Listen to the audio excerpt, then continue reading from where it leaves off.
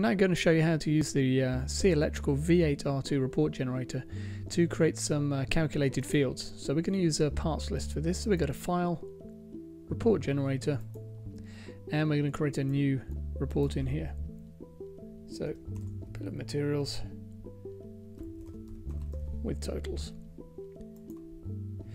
So we're going to use a custom query for this, um, just to make it a bit simpler so we can see what's going on. So instead of just using the actual field IDs, we're actually giving them an alias, type, description, goods group, manufacturer, price, and quantity. So we go to next. And again, we've got our report designer. So in here we can actually make sure we've got the table as the uh, data member. And we can add perhaps a table. Let's just change this and actually put this as being Arial at the beginning and then we should be able to drag a table onto there so we can get some values on. So we've got a few fields that we can use already. So we can say we need to know the type, we perhaps need to know its description, and perhaps we need to know the quantity. And then, sorry, let's just right click and insert column to the right and put the price in there. So we've got some information. Let's select the whole of that, drag it across so we've got a bit more space.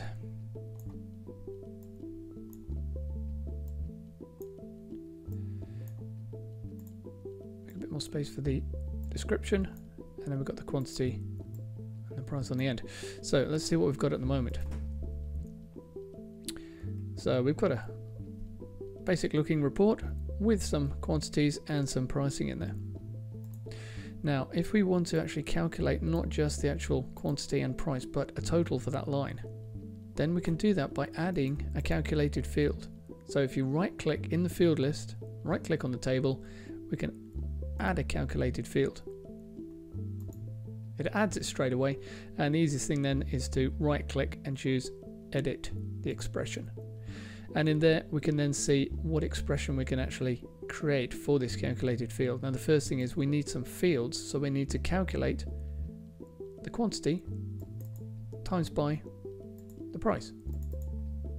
Now as you're doing this, notice that these values have a type, system double and system string.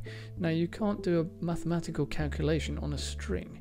So what we have to do, and we'll do this to both of these, is type ToDouble and then surround that by brackets. So we're basically converting these to doubles so that they will